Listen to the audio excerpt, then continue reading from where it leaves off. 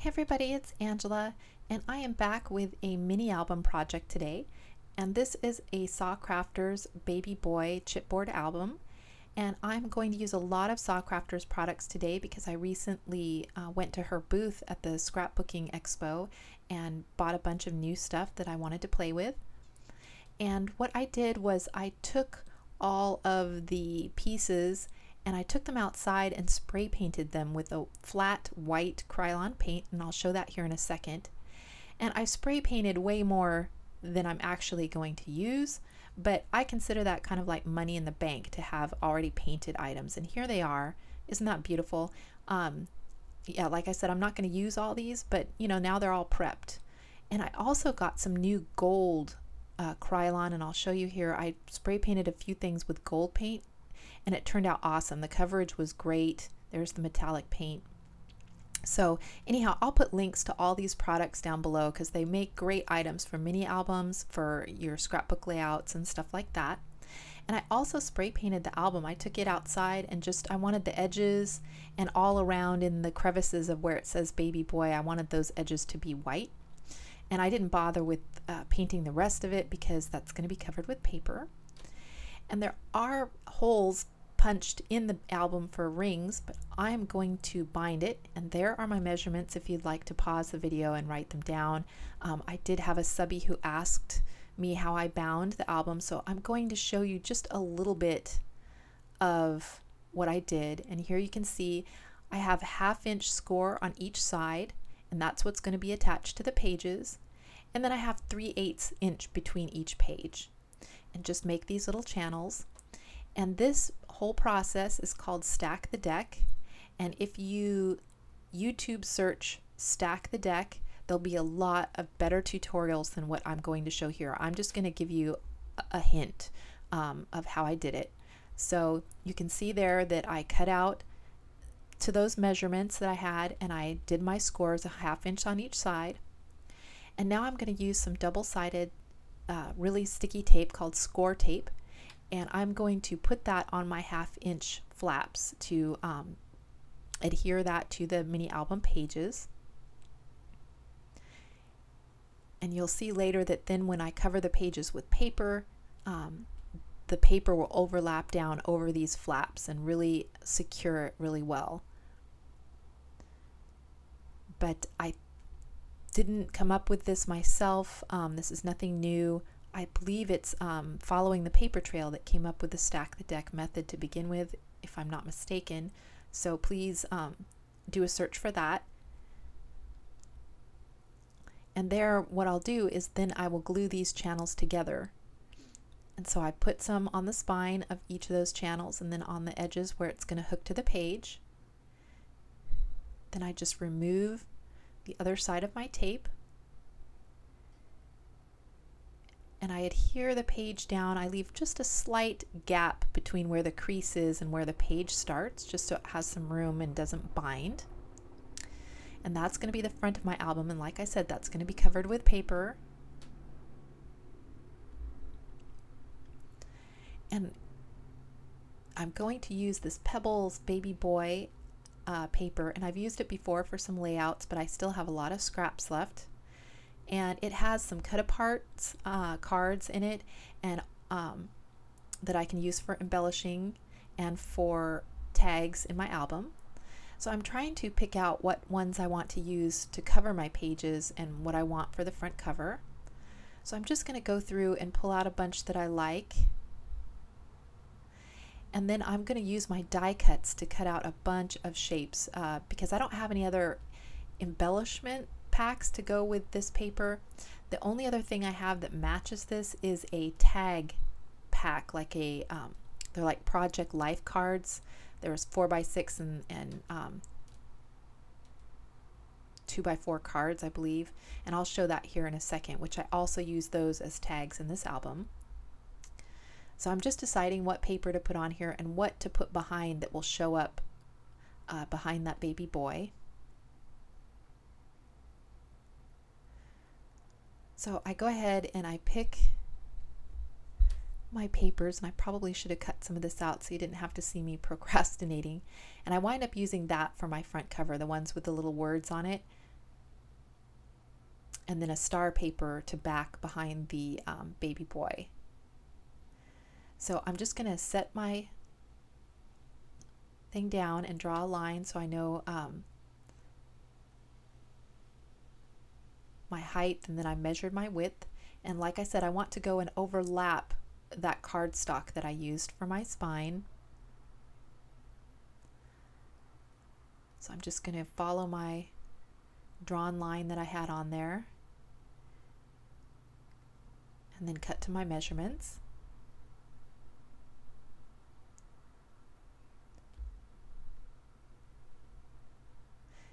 And then I'm going to use a combination of glues to adhere this on.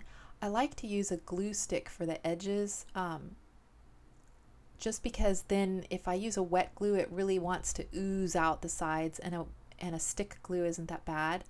Um, I use stick for this whole front page but on some of my interior pages I use stick glue for the edges and then I used uh, Scotch Quick Dry for the interior of the page but that way the stick glue just doesn't ooze from the edges as much and so it's a little less messy.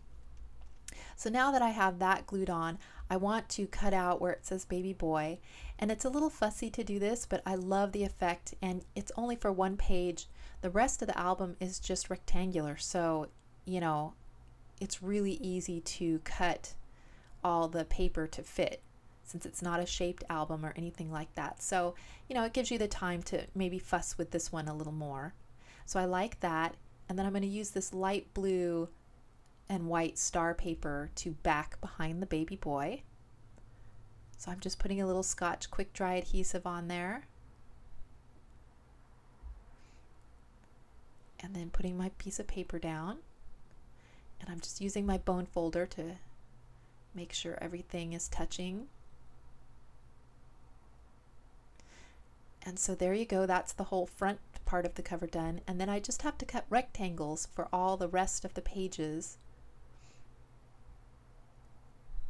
So I go ahead and um,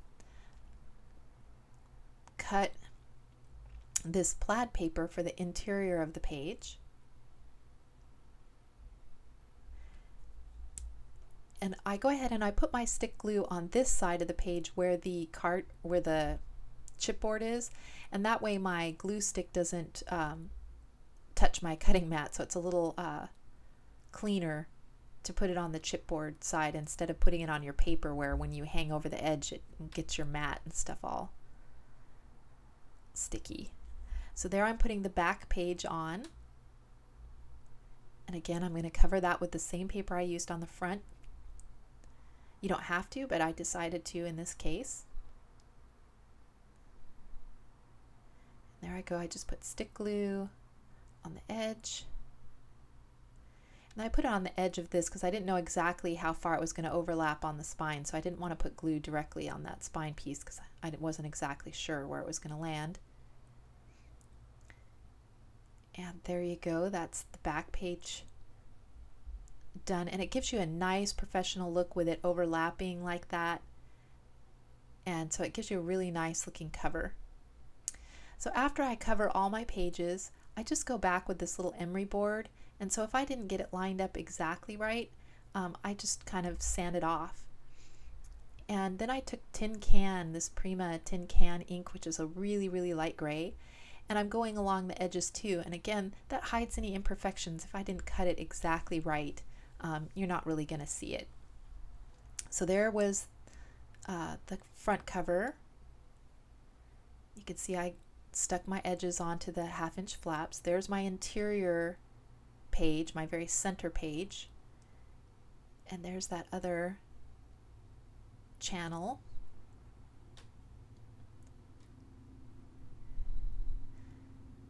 And then after I get all the inks down, I'll go ahead and put all the pages together. So that's the channel that's going to nest inside the cover and I am just putting a little bit of wet glue to go along with the adhesive I have and just making sure I've got everything right side up because some of the papers you know do read a certain direction. So I just center that and stick that down in the center. So that gives me the four pages. And then this fifth page, I just take the L, putting a little extra wet glue sticking that down right there. So that leaves me a three inch gap or three eighths inch gap on each side. And there you go. That is how I bound my mini album. And so now I am going to go back and start making some pockets for the interiors of these pages to put the cards in. And I'm just going to use the um, extra little booklet of cards that I had. This is the Pebbles cards that go with that paper. And I used one card for each large pocket, and then I put a little bit of patterned paper at the bottom to make a second little pocket and use some edge punches on it. And then I went to my die cutting machine and I pulled out all these dies to make my own embellishments bow dies, scallop circles. I love these label shapes. And then some of those like pinwheel shapes. And that is what I'm going to use um, to embellish it. And here are more of the cards from that card pack and from the cut apart sheet.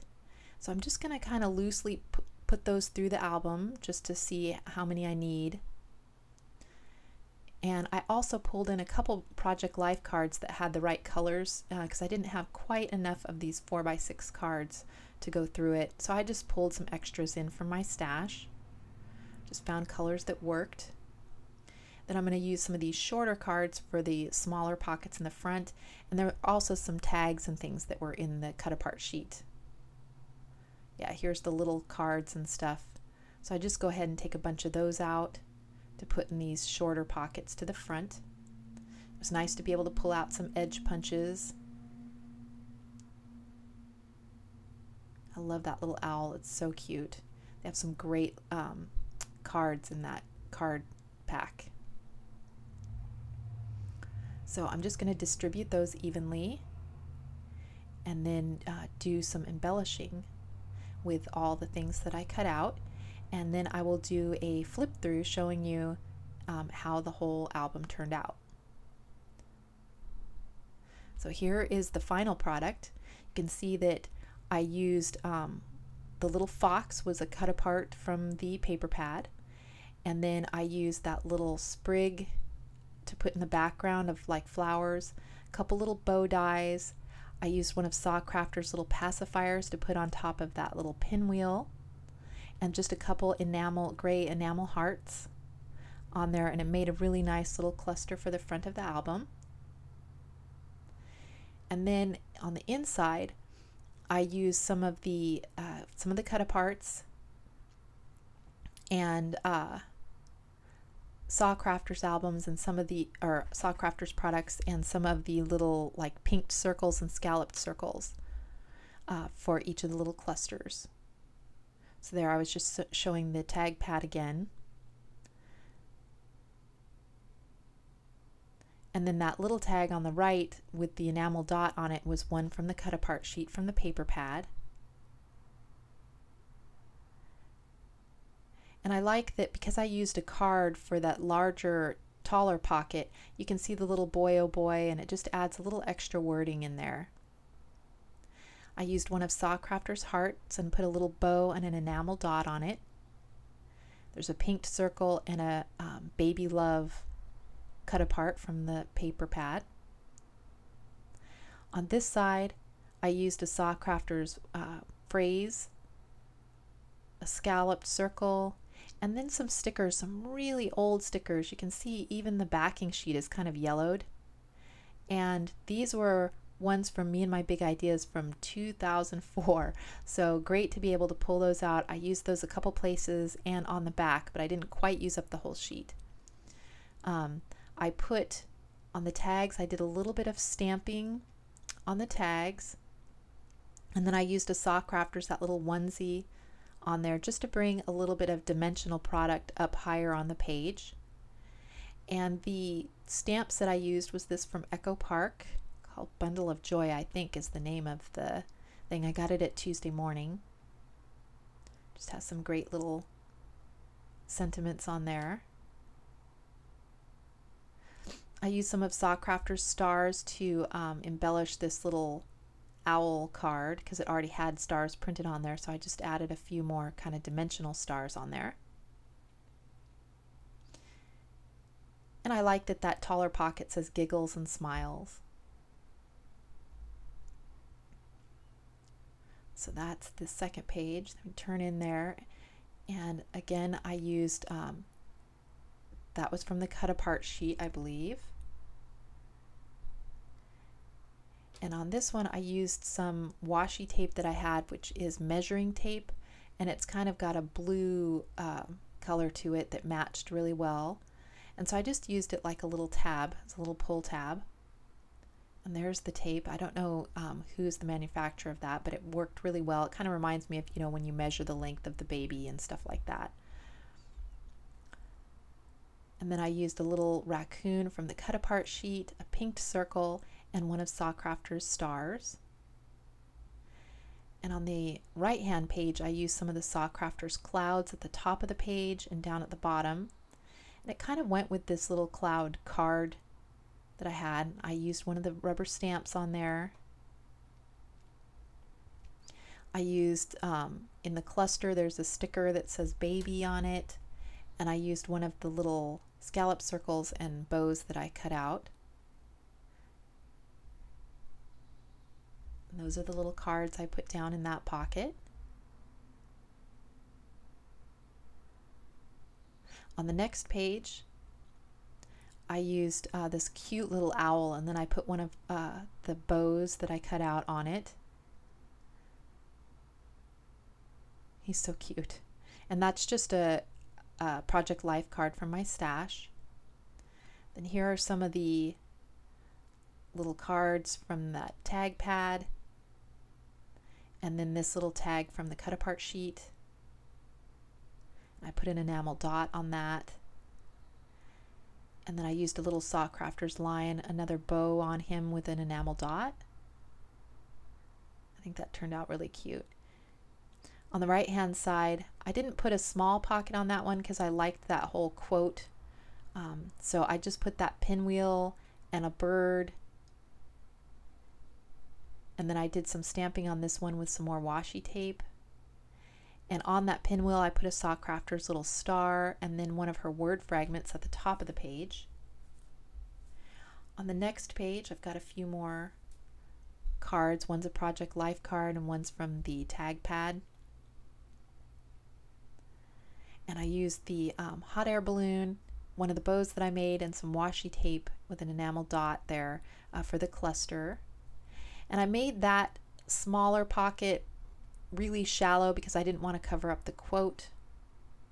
So I just put these smaller tags in this pocket since it is kind of a shallow um, pocket or tuck spot.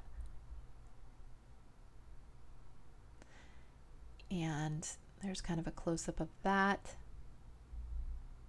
The next page I use that little dinosaur, some of the cut aparts, a pinwheel, Got some enamel dots. On this card, it's a Project Life card. I just put the little baby bottle with a bow on it. Some more of the smaller tags. And I just made it so you could still, on that uh, taller pocket, you could still read It's a Boy when you pull those small tags out. You can still see the quote. And on the back, I just put a few of those stickers from those that old sticker sheet just to kind of go along with the quotes that are already on that paper. And then I used from the cut apart sheet the letters baby just to go along the spine. And this is very similar to my baby girl album that I did earlier because it was kind of the same Pebbles collection, uh, but just with the baby girl paper. So um, the only thing I was kind of not liking is you can see that very back page kind of sticks out a little bit and that is because I put the pinwheel too close to the spine. I should have put it farther out. Um, as you can see here, the pinwheel, I put it too close to the interior of the spine so it makes it kind of bind a little bit there. If I would have moved it out towards the outside edge, it, it would sit a little flatter. So just kind of keep that in mind when you're doing your pages. And that is my completed album. So thank you guys so much for watching And if you have any questions on uh, any of the products or anything I used here, just leave me a comment below and I will talk to you later. Bye.